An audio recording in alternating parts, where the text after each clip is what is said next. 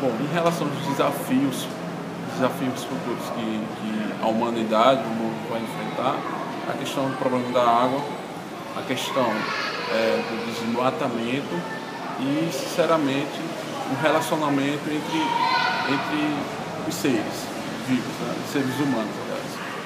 É, a questão da violência. Né? É, a gente fala também, é, no momento, a população está enfrentando um problema de água, abastecimento, né? os recursos naturais estão se acabando, não existe uma forma de, de ou não querem, a verdade é essa, de tentar é, melhorar o problema que estamos enfrentando. Né? É, no decorrer do tempo é, fizeram vista grossa e agora estão colhendo o que plantou. Então acho que um dos maiores desafios do momento será a questão do, do desmatamento, problema da água e futuramente da energia. É, eu vejo também um problema muito sério na nossa sociedade é a questão da violência, violência urbana.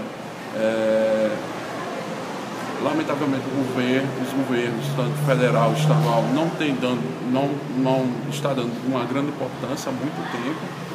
É, a gente vê números de, de assassinatos, assaltos, a marginalidade é, dentro de algumas comunidades, periferias de grandes capitais, tem aumentado.